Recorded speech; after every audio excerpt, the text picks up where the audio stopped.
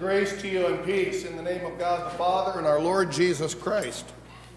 It's good to be back with all of you today after being gone for two weeks and enjoyed leading worship last week over at Round Lake and Brewster and leading a couple of congregational meetings. So uh, it's good to be back with you, and I'd like to welcome everyone this morning who may be watching either online or uh, everybody who is here. Um, and I draw your attention to the announcements in the bulletin uh, and a couple of things to, to kind of update everybody on. First of all, you notice we didn't have our Ash Wednesday service, so we're going to do an Ash Wednesday service this Wednesday. Uh, at and so the schedule's still going to be the same. It was going to be six o'clock. We're going to do the spud hug, and then 6:45 we'll have worship with communion and the imposition of ashes, and we invite you to come and join us for that.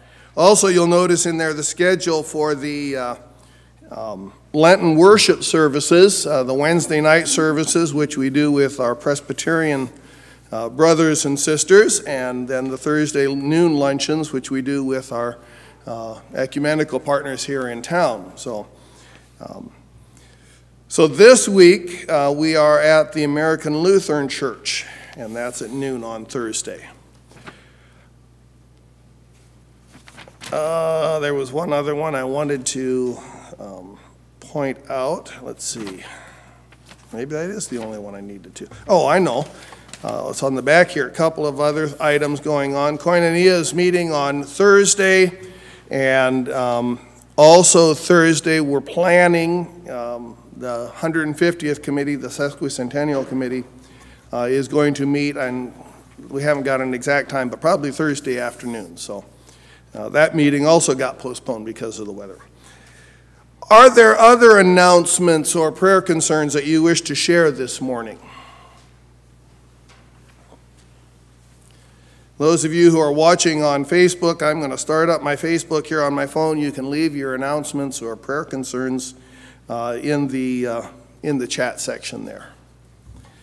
If there are no other announcements, um, Let's begin with a word of prayer.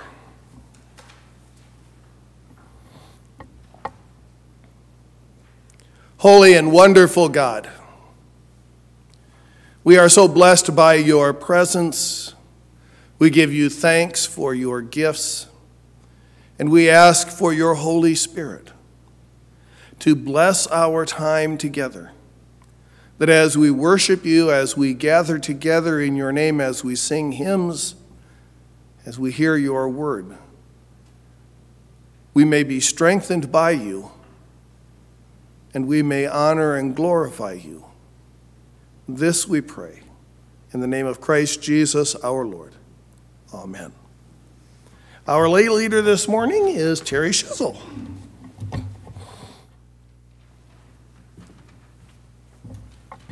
Good morning. Uh, join me in the call to worship, please.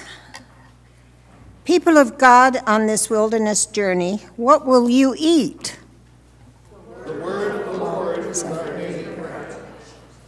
People of God, in this time of temptation, how will you live? Our faith is in the faithfulness of God. People of God, at this kingdom crossroad, whom will you serve? We worship the Lord our God alone. Join with all of us, our God, our help in ages past. Uh, number 687.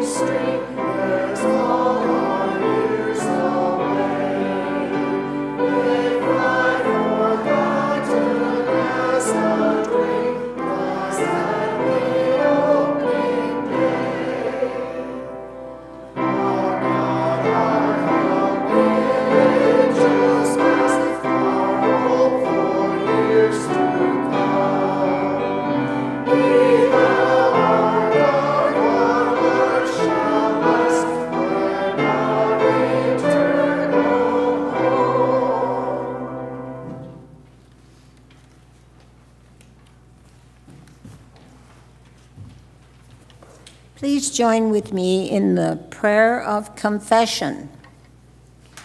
Happy are those whose sin is forgiven, who no longer suffer in silence, but name their sin and seek God's grace. Let us confess our sin. We confess to you, O God, and before one another, where we have sinned, by what we have done and what we have failed to do. You have called us to live out your image in our lives, and you sent our Son to show us what that looks like. And yet we fail so often. We look for the easy way, the quick way. We don't want to put in the work of learning what it means to be your image here on earth. Forgive us and renew us in your spirit, that we may be true disciples of your Christ. Amen.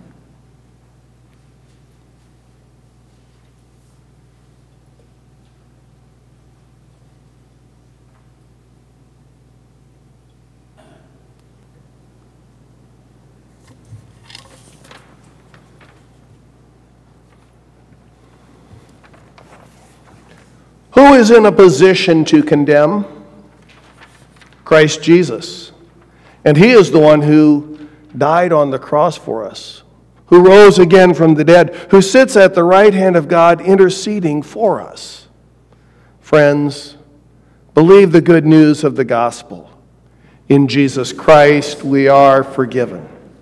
As forgiven people, let us greet one another, sharing God's peace.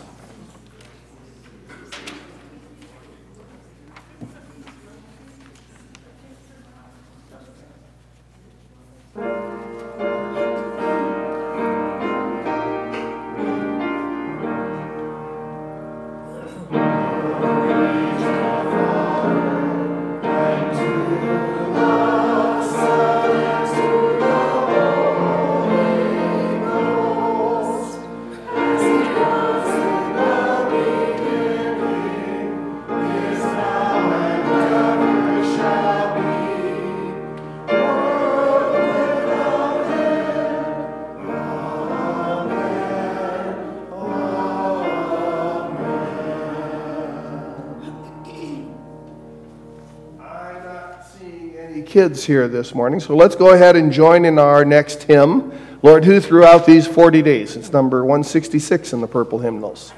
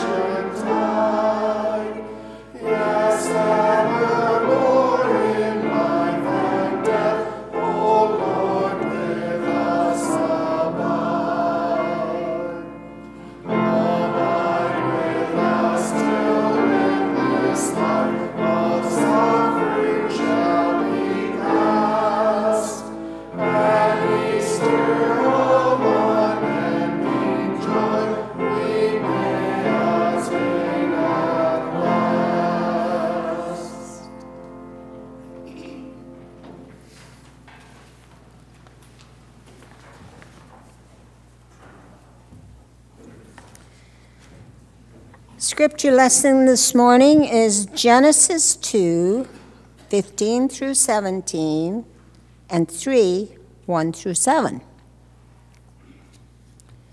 The Lord God took the man and put him in the Garden of Eden to till it and keep it.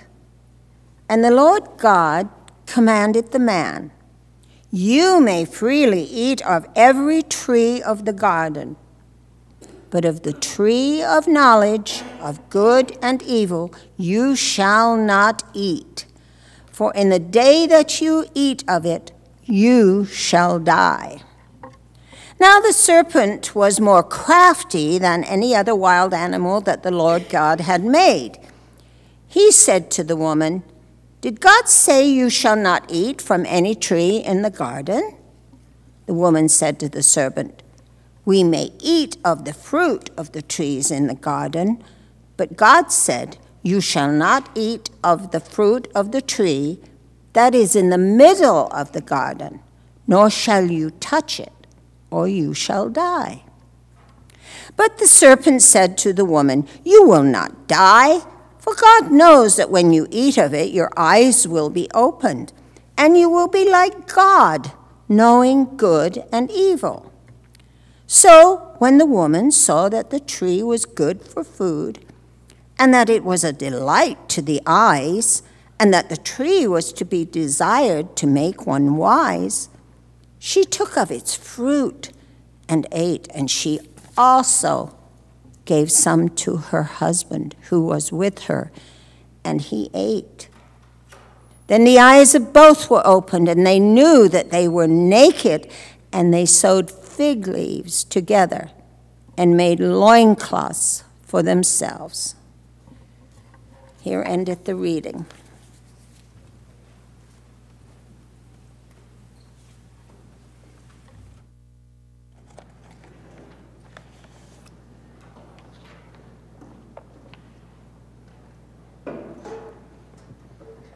The gospel reading this morning is found in the Gospel of Matthew, the fourth chapter, beginning with verse 1. This story occurs just after uh, Jesus has been baptized by John the Baptist. In the Gospel of Matthew, that's where this story occurs. Uh, not quite the same spot in Luke, but pretty close. Anyway, so let us hear God's word. Then Jesus was led up by the Spirit into the wilderness to be tempted by the devil. He fasted 40 days and 40 nights, and afterwards he was famished. The tempter came and said to him, If you are the Son of God, command these stones to become loaves of bread. But Jesus answered, It is written, One does not live by bread alone, but by every word that comes from the mouth of God. Then the devil took him to the holy city and placed him on the pinnacle of the temple, saying to him, If you are the Son of God, throw yourself down, for it is written, He will command His angels concerning you, and on their hands they will bear you up, so that you will not dash your foot against a stone. Jesus said to him, Again it is written, Do not put the Lord your God to the test.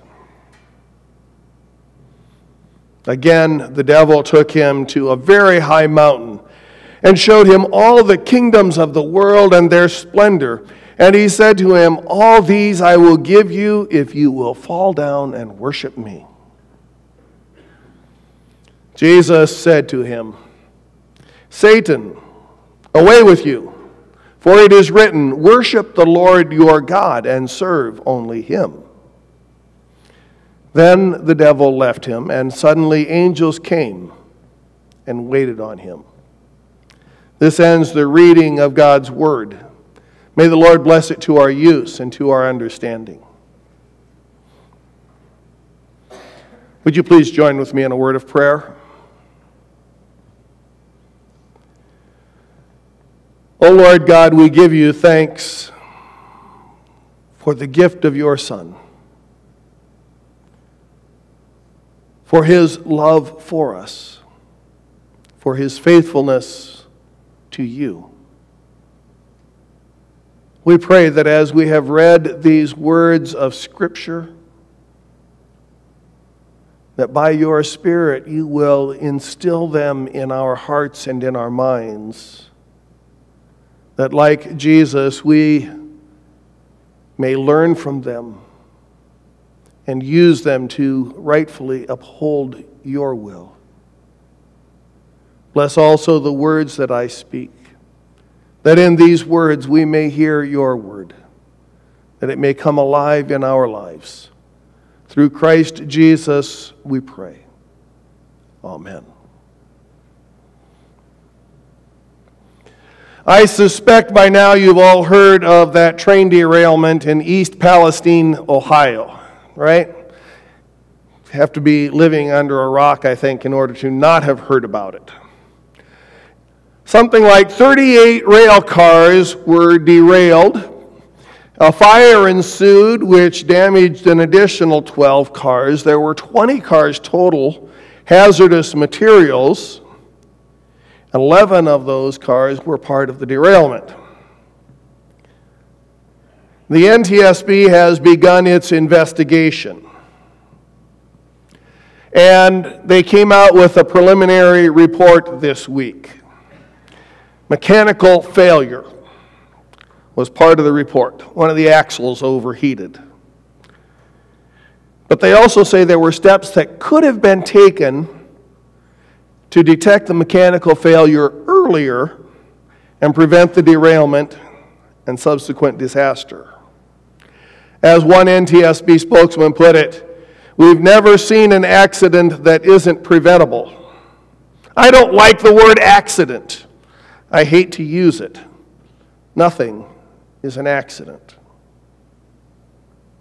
Keep that thought in mind for just a moment death and destruction surround the town of Erzin, Turkey. But this tiny city in Turkey's southern Hatay province was an oasis of safety and normality, while life throughout the rest of the region was upset, overturned by last week's earthquake.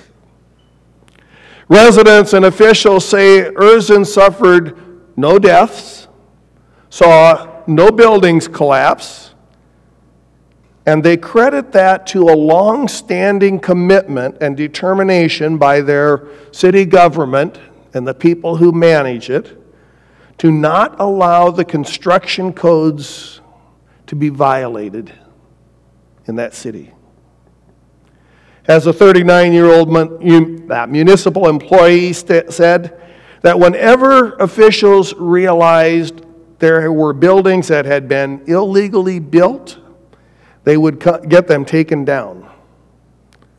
Now, some people were, local people were really mad about it. He said of the residents who lived in those buildings that were taken down.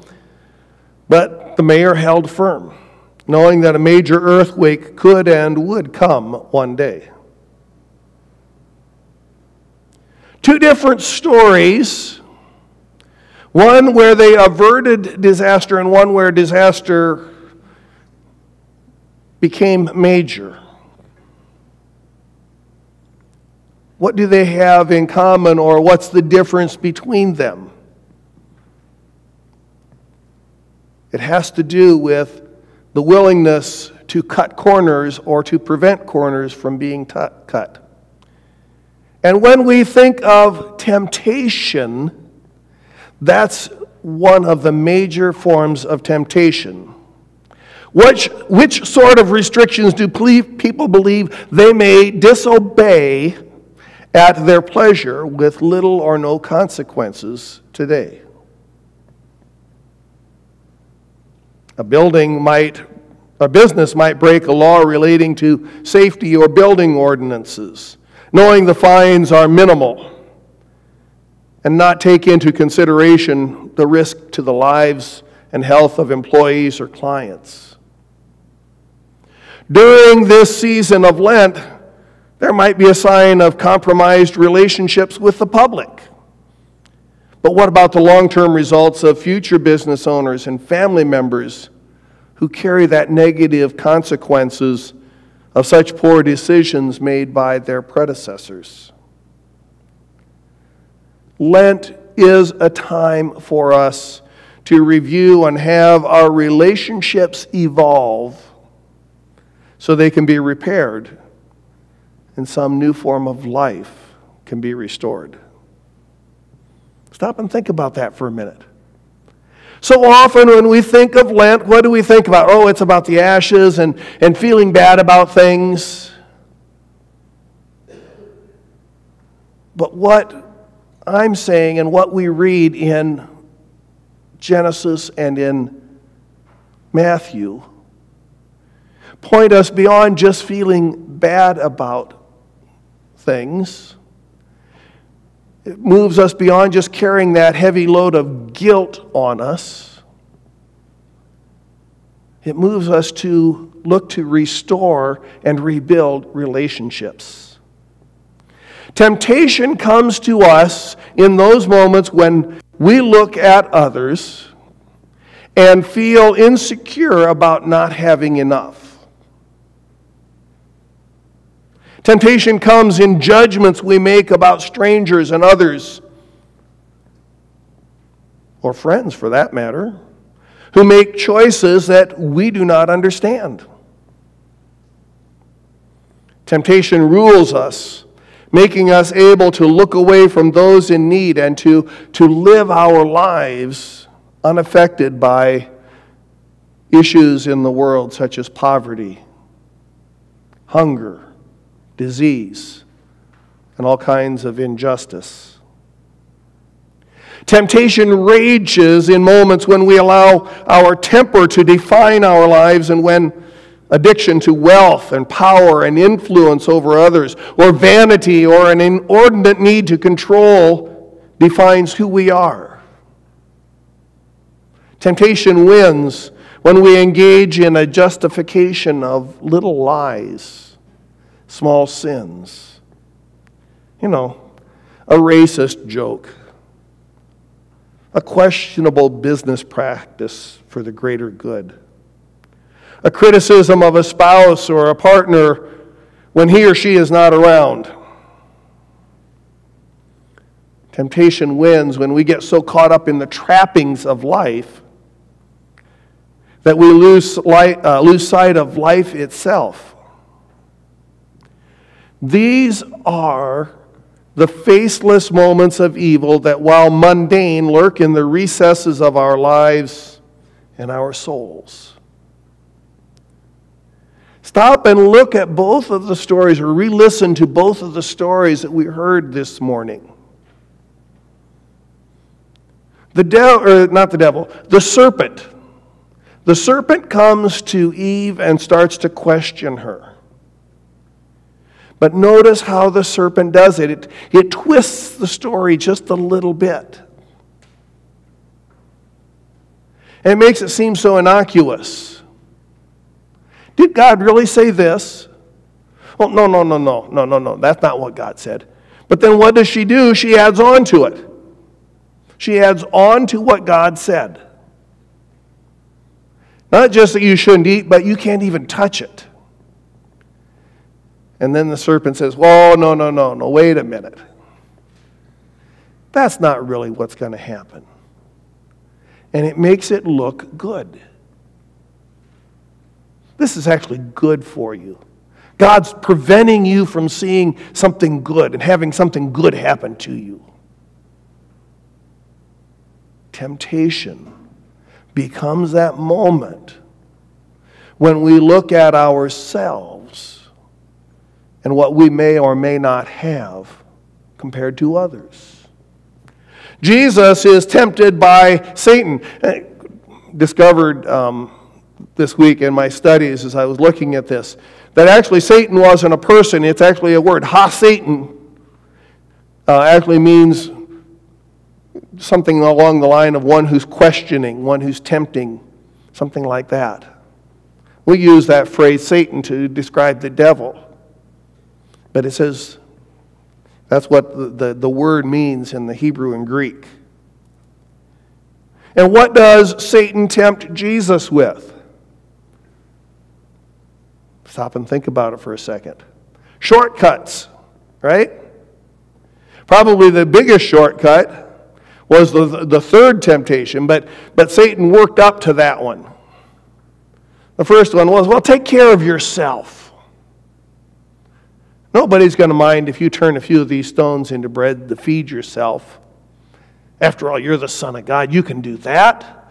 And you've been fasting. You, you deserve this. When Jesus doesn't bite on that one, Satan says, Well, let's, let's, let's show everybody that you're really God by, by throwing yourself down off this temple spire and, and, and let the angels take care of you. Then, then you'll have proof that you're God's, God's son, that you're the one, and everybody will look at it and they'll know that you're God's son. Satan doesn't say all that, but that's really part of the temptation. And then, and then to make things even better, he justifies it by using a couple of passages of Scripture. One of them that we use and read and hear regularly out of the Psalms, right? On Eagle's Wings is the hymn that we sing about it, Psalm 91, I believe it is. His angels will protect you, guard you, but you don't dash your foot against a stone. In other words, he makes it look like, well, this is okay because Scripture says this is what's going to happen. What does Jesus do? He says, wait a minute, you're misinterpreting what those Scripture verses are about. You have to read those Scripture verses in light of the rest of the Bible. And here's what the Bible really says don't test the Lord your God. And he can quote the passage but he's also pointing to the great big picture, right? We read the Bible and over and over again we, we hear when, when, when people test God, when they, when they break God's laws and say, well, nothing's going to happen to me, we're testing God. When we take that shortcut, when we, when we try to fudge on maybe a building ordinance, or when we try to fudge on our taxes, or when we try to fudge on this, that, or the other thing, we take that shortcut thinking, well, it's for the greater good. What happens? We're misinterpreting the whole of Scripture. What's God's will? Finally, finally, Satan gets to the big one. I know what, I, what you want. You're here to, to, to claim the world. I have the world. I've had it since Adam and Eve. It's been mine. But I'll give it to you if you just take this little shortcut. Just bow down and worship me. We can see how temptations begin small and lead us down these paths that break our lives. So we go back to the very first one the one with Adam and Eve and the serpent. What does it mean to have our eyes open so as to be like God in knowing good and evil? Well, I know that some people have argued in the past that good and evil is not a matter, matter of ethical discernment. It's not, you know, well, that's the right thing or the wrong thing to do. That's not really what, what we're hearing about in this passage. I have said for many years, and I think I am consistent with the, our Reformed traditions when I say that that question is at the heart of the very first of the Ten Commandments. Remember what it says I am the Lord your God who brought you out of the land of Egypt. You shall have no other gods before me. When we stop and think about Adam and Eve and this knowledge of good and evil, and Satan actually asks, Well, you'll be like God, knowing good and evil.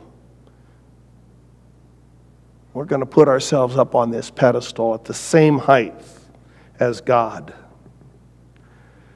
The serpent insinuates it's out of jealousy, maybe that God doesn't want them to be the same as that God.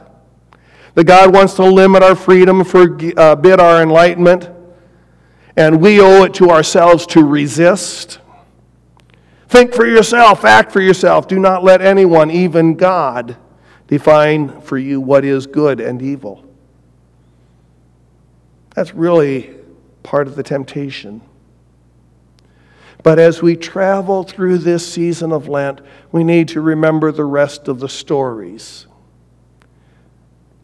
I intentionally stopped our story this morning in the Genesis passage where I did rather than going on because the story continues after that, doesn't it?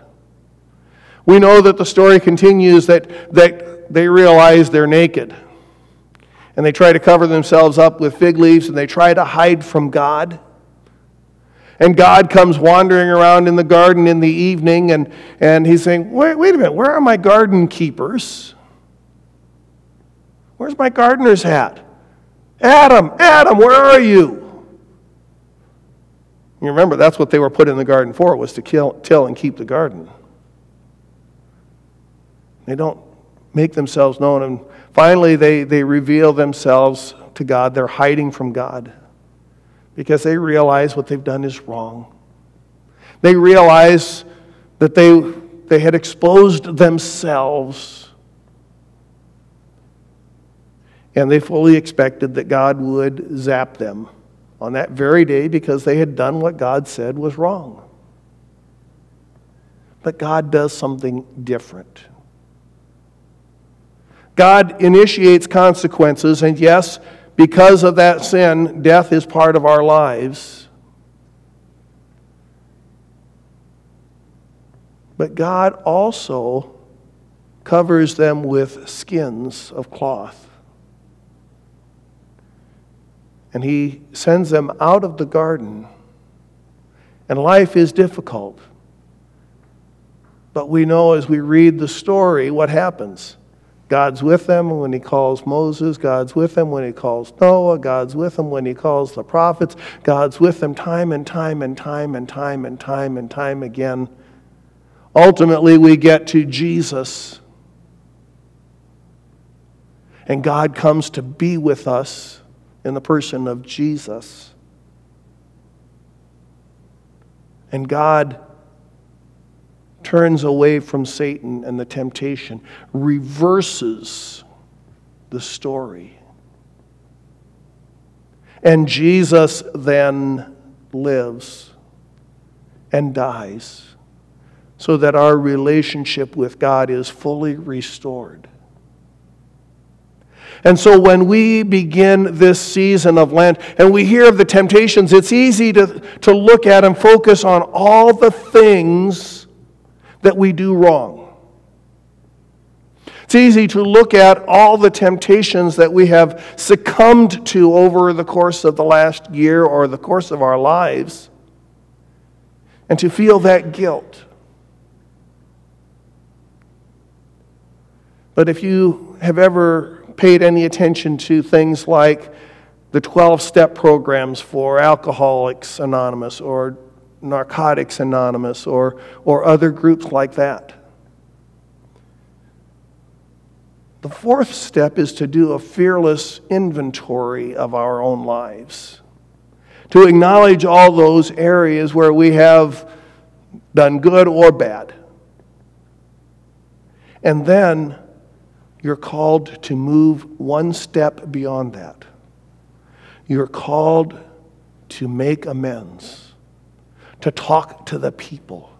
In other words, the, the sense of, uh, of that moral inventory isn't to make you feel bad about all the things bad, but it's to help you look at yourself and to rebuild those relationships that your behaviors have destroyed in the past.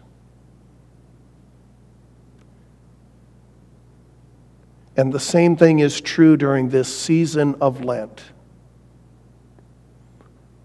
we do that moral inventory. We look at the temptations and, and trying to be specific about those temptations today so that we recognize ways that we might be tempted.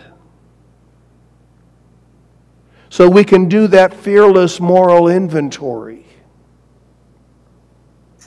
both in our relationships with one another and in our relationship with God. And then, then having completed that moral inventory, we can make the appropriate changes.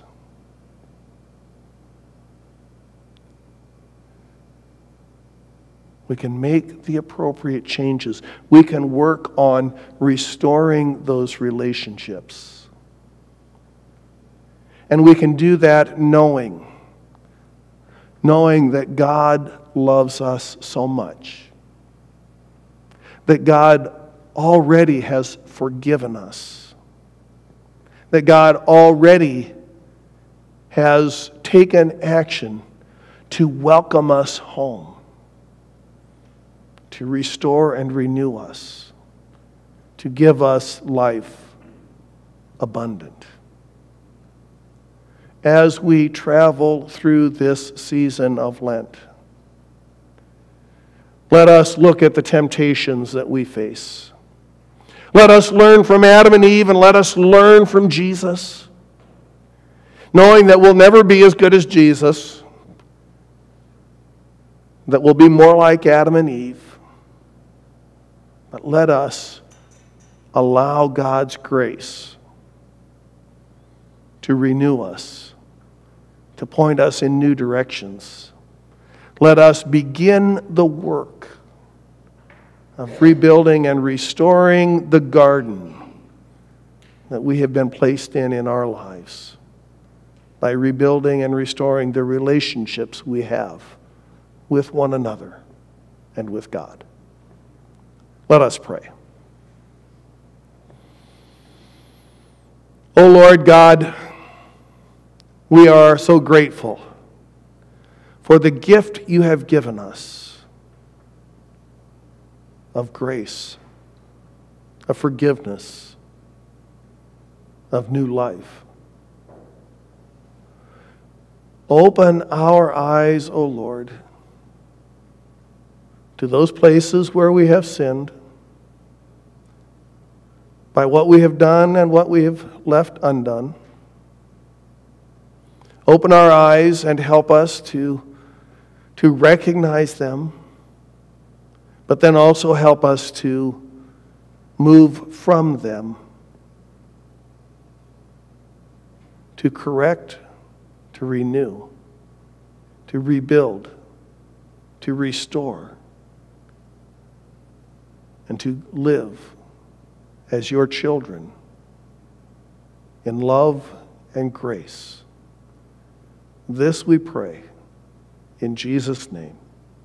Amen. I invite you to join with me in stating what we believe using the Apostles' Creed. The words are on the screen. Let us rise and profess our faith together.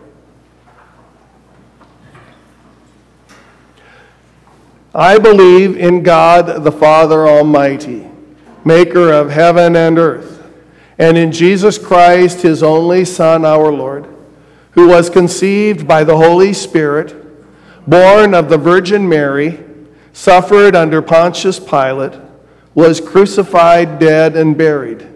He descended into hell. The third day he rose again from the dead. He ascended into heaven and sitteth on the right hand of God the Father Almighty. From thence he shall come to judge the quick and the dead. I believe in the Holy Spirit, the holy Catholic Church, the communion of saints, the forgiveness of sins, the resurrection of the body, and the life everlasting. Amen. At this time, we bring to the Lord our tithes and our offerings. And again, the box was here as you came in. For those of you who are watching online, you can always drop your offerings off in the, uh, uh, at the church or drop them in the mail and bring them here. We appreciate everybody's support and we give thanks for the gifts we have received as we continue to serve in God's ministry. Let us bring then to the Lord our tithes and our offerings. Let us sing together the uh, doxology.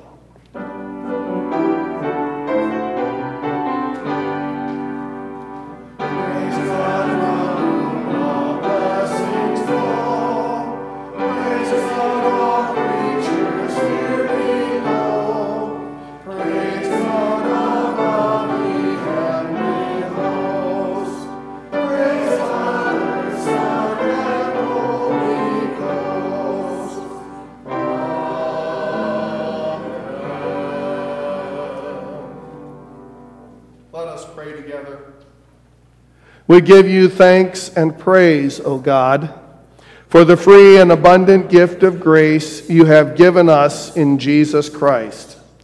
Let the simple gifts of our lives be a sign of our unending gratitude for your undying love. Through Jesus Christ our Lord. Amen. Please be seated. As I'm looking at the offering plate, I'm reminded of one other announcement to make. Um, and I look down here and I see all these pieces of white paper, and I'm going, Thank you. Thank you for those of you who are working on filling out the survey we sent out to you. Uh, and uh, if you would like to, if you're a member and would like to take part in the survey or worship here and you'd like to take part in the survey uh, regarding uh, the church, please um, please contact the office. Uh, we'd like to get the survey uh, completed here sometime uh, in the next week or two. So thank you for returning that if you have done that. And if you haven't, please return it soon. We come now to a time of prayer. Are there prayer concerns you'd like to share this morning or joys you would like to share? Jan Lowe, please. Okay. Prayers for Jan Lowe. And I believe the uh, memorial for Rich is on Saturday afternoon, right? Okay. What? Angela. Angela, okay.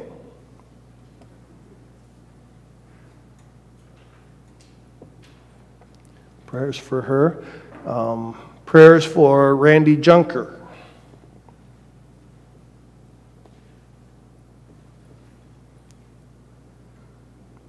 He's dealing with cancer. Others.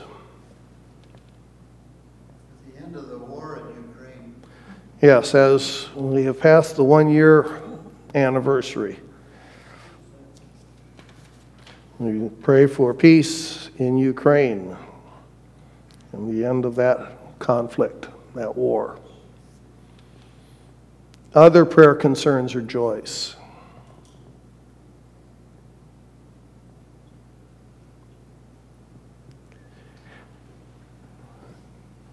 Hearing none and seeing none on uh, Facebook, let us come to the Lord in prayer.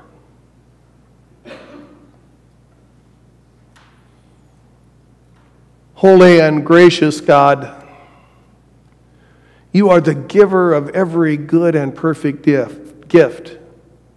You have created this world in which we live and have provided all things, and, and we praise you and glorify you. We lift our voices and our arms in praise for your goodness and your grace. We pray, O oh Lord, that we can join with the angels and the great crowd of witnesses around your throne, proclaiming your glory for all the world to hear. We pray, O oh Lord, through your Son, Jesus Christ, who came and lived with us, who suffered and died for us, and, and who sits at your right hand, having risen from the grave and ascended to heaven. He sits at your right hand, interceding for us. We owe our very lives to him, and we trust in him and seek to follow him wherever he may lead. In his name, Lord, we lift before you those who are suffering from illnesses and injuries, those who have lost loved ones, those who have suffered injustices. In particular, this morning we lift up Jan and Angela and Randy. We pray for your healing touch on them. We pray for your spirit of comfort and strength on them. We ask you to surround them with arms of love. that they may know your presence. Help us, Lord, to, to be those arms, to reach out and support and strengthen them, to show your presence to them. Lord, we pray for, for victims of all kinds of disasters in our country.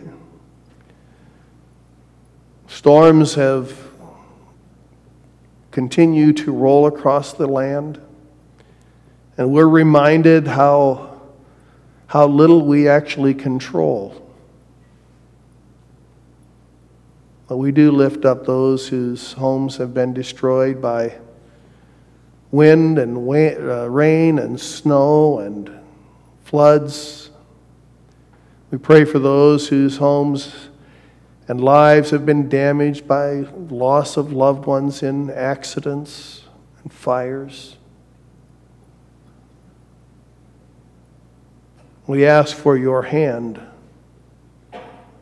to calm the storms of nature to surround us with protections, to keep us safe.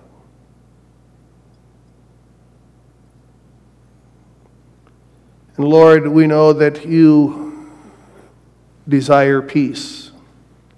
You desire wholeness. You desire a restoring of relationships, a renewal of life.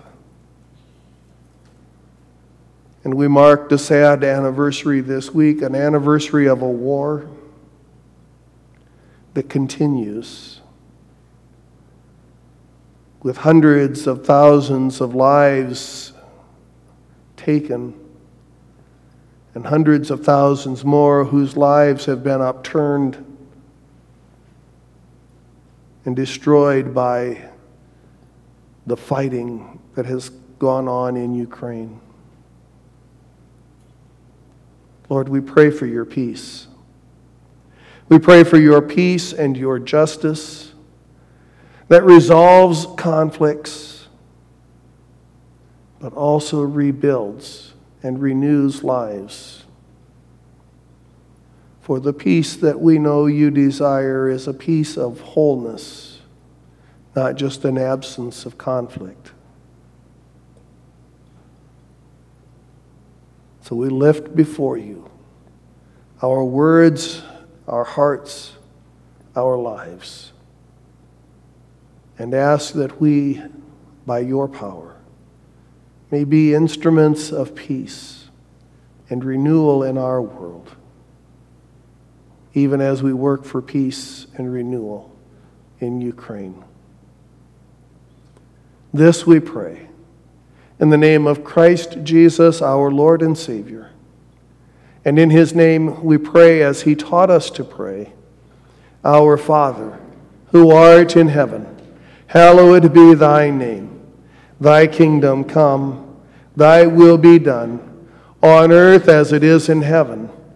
Give us this day our daily bread, and forgive us our debts, as we forgive our debtors and lead us not into temptation, but deliver us from evil.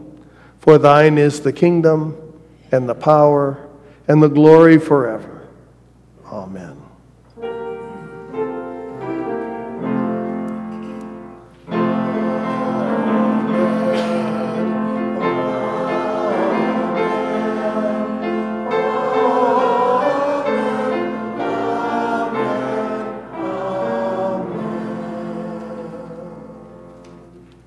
Our closing hymn is Today We All Are Called to Be Disciples. It's number 757 in the hymnals. If you have that, the words and music are on the screen. Let us rise and sing together.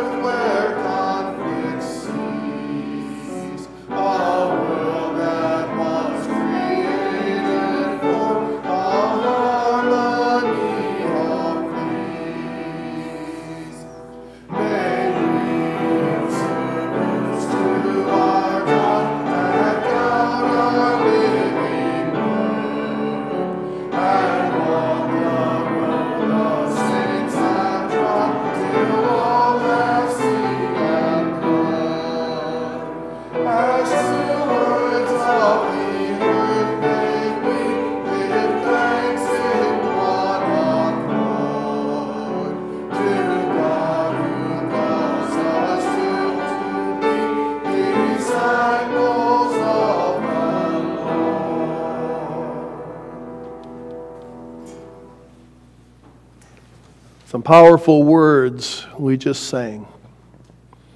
A powerful reminder of what happens when we succumb to temptation, but also a reminder of God's peace and grace calling us to something different, something better. May you go forth living in that hope, in that presence, in that gift that God gives, knowing that God is faithful and will bring to completion in you that great work he has begun. In Christ Jesus our Lord. Amen.